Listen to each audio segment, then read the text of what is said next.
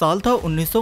five Jat regiment के कुछ officers अपनी बीवियों के साथ अमृतसर रेलवे स्टेशन पर अपने एक कलीग को विदाई देने पहुंचे थे तभी कुछ मंचले लड़कों ने उन आर्मी ऑफिसर्स की बीवियों के साथ छेड़खानी शुरू कर दी लेकिन जैसे ही उन्हें पकड़ने की कोशिश की गई वो भाग खड़े हुए और पास के ही एक सिनेमा हॉल में जा छिपे अब उतनी भीड़ में उन्हें पकड़ना बहुत ही मुश्किल था इसकी खबर मिलते ही अमृतसर आर्मी कैंप के commanding officer colonel Jyoti Mohan Sen ने कुछ और आर्मी पर्सनल को वहाँ भेज दिया सारे मंचले पकड़े गए लेकिन हैरानी वाली बात ये थी कि उन मंचलों में से एक पंजाब के तत्कालीन सीएम प्रताप सिंह कैरों का बेटा था प्रताप सिंह कैरों पीएम नेहरू के करीबी थे इसलिए आर्मी ने उन लड़कों को पुलिस के हवाले न करके अपने कैंप ले जाकर उनकी जम के खातिरदारी की लेकिन यहाँ अजीब बात ये थी की इस घटना के बाद पीएम नेहरू ने प्रताप सिंह कैरों की जगह आर्मी चीफ जनरल थिमैया ऐसी जवाब मांगा इस पर जनरल थिमैया का जवाब था की अगर हम अपनी औरतों की इज्जत की हिफाजत नहीं कर सकते तो आप हमसे देश की इज्जत की हिफाजत की उम्मीद कैसे कर सकते हैं